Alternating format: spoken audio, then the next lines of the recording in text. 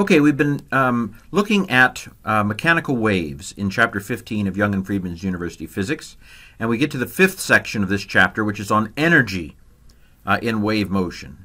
Okay, energy in wave motion. Let's do a little review. So already in this chapter, we've derived uh, this equation, which basically says that y, the transverse motion um, of a wave, um, as a function of x, and as a function of time is going to be the maximum, the amplitude, times the cosine of kx minus omega t. Okay, that's earlier in the chapter that's been uh, derived.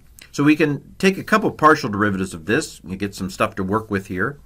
Um, so if we want to know uh, how y is changing with regard to x, in other words, as we move forward with x, how is y changing? We take the par partial derivative of this equation with regard to x, and this is what we came up with. So the derivative of the cosine of x is the negative sine of x. Um, and so that's where the negative and the sine come from, from taking the partial derivative of this uh, cosine. So we had a, a is a, a constant, it's fine. Uh, but if I'm doing this, uh, taking the derivative of this with regard to x, then this goes to 0 as I pull out to the front, and the derivative of kx is, is going to be k. So that's where the k comes from. So the negative sign comes from the derivative of the cosine, the a is a constant, and then the k comes from taking the derivative of this with regard to, to x. So there we have it. This is the, the, the way that y changes in relation to x. Okay? We can also take the partial derivative uh, with regard to time. Remember, partial derivative teach doesn't do the derivative of the whole thing. It just takes the derivative with regard to one component of the thing. So this one uh, took the derivative with regard to the component x and treated omega t as a constant. So this one, when I'm talking about how y changes with time, I'm going to take the partial derivative of this first one uh, with regard to t, and the kx will be treated as a constant. Okay, so um, the derivative of the cosine of x is the negative sine of x. So there was a negative sign down here. What happened to the negative? Well, when I take the derivative of this with regard to time, it becomes negative omega. There's the omega and then a negative and a negative cancel out. So that's where this comes from. And then I'm left with this. Okay, got some things on the on the board. Well, why are you doing that, Ken? Well, let's keep digging. So what is power? Power is the instantaneous rate at which energy is being transferred uh, along a string. Um, so if you remember from chapter 6, we had this equation that power is the dot product of the vector force and the vector uh, velocity. Now, Vector, Vector, Velector, uh, Hannibal Velector, the uh, the vector velocity is basically this right here. This is the vector uh, velocity, right? Um, so what is the vector force? Well, if we think of a triangle, and um, I haven't fully gotten my head around this, uh, but it, it, it um, the chapter treats the the force here in terms of the the I would say restoring force, the force that's pushing back on the wave as it as it as it comes. And so, uh, if the wave is moving um, uh, from left to right, the force in, in this equation is conceived as pushing back uh, from right uh, to left. So it's going to be a negative. Um, and then uh, they do a little trig. So you take the um, if if f if the magnitude f, you know, say the magnitude f pushing down if the vector is pushing down like this, um, then uh, the uh, the part that is pushing uh, this way, or, or, I'm sorry, the part that is pushing this way is the um, the d, dy dx uh, thing, uh, and so uh, basically do a little trig to find out what what this force. So we're looking for the dot product, which part takes the part of the force vector that is going in the same direction as the velocity. So if the velocity is moving this way, then we want the part of the force uh, vector that's also moving this way. And to do that, we're going to do a little trig. We're going to take the hypotenuse, the magnitude f, and multiply it by the uh, part of the vector going down, which is dy dx. Um, and we're going to do the negative of it uh, as that restoring force I was talking about. Basically, I'm explaining this. What is this we have here? What is this formula right here? Well, this dy partial derivative of y with regard to t is the vector v.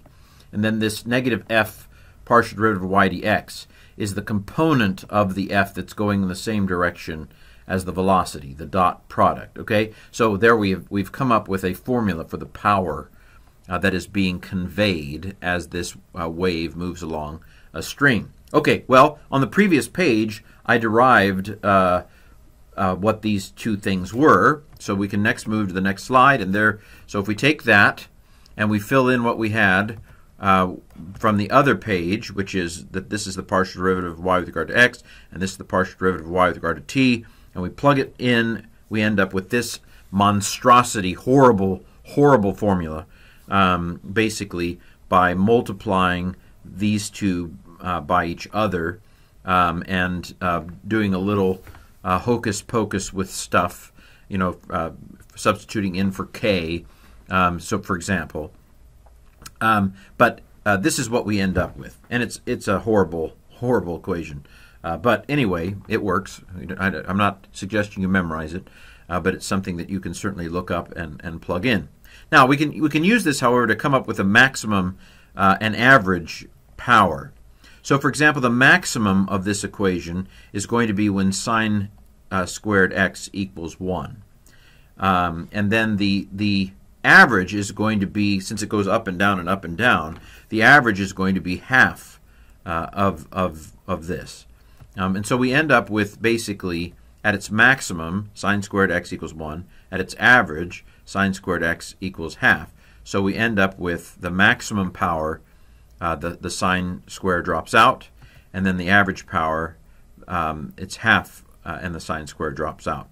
So those are two uh, formulas that are a little bit more manageable, uh, that give you the maximum amount of power uh, for a sine wave um, in, in terms of, uh, remember, m was the, uh, uh, I'm sorry, should that be mu? That should be mu. Uh, mu f and mu f here. This is basically, mu is the, um, uh, has to do with the, the, the, the, the, the string, uh, the string itself, a, qu a, quality of the string. Uh, okay, um, so that's the first part of this section. Wave intensity is the other part of this section. So for 3D waves, intensity is the average power per unit area the average amount of power per unit area. And this, uh, this is the average rate that energy is transported by the wave per unit area. So what we find with, uh, with the, this uh, is therefore that the intensity uh, of the wave is the power divided by the area, 4 pi r squared, for example, uh, if it's moving in a circle, if it's moving out in a wave in a, you know, a circle like that. You know, so um, the the intent this is spreading out, of course, over a increasing um, area, um, but it's going to be equal in its totality, um, and so uh, the the power at at R one uh, is going to basically the the total intensity at R one is going to equal, um, or the power at R one is going to equal the power at radius two as well um, it's just going to be distributed out over uh, an increasing area. So if we do a little little math, what we find is that there's an inverse square law for intensity. That the intensity at R1 and the intensity at R2, uh, basically, intensity 1 divided by intensity 2 is equal to um, the square of the flip. That, that is the square of the intensity at R2 divided by the intensity at R1. So this is useful, for example, with regard to earthquakes and how the, the power of that earthquake wave is going to be distributed uh, as we get increasingly uh, further away from its, its point of origin. Well, this is not a particularly easy uh, section to explain, uh, but uh, hopefully um, the formulas are clear enough to use.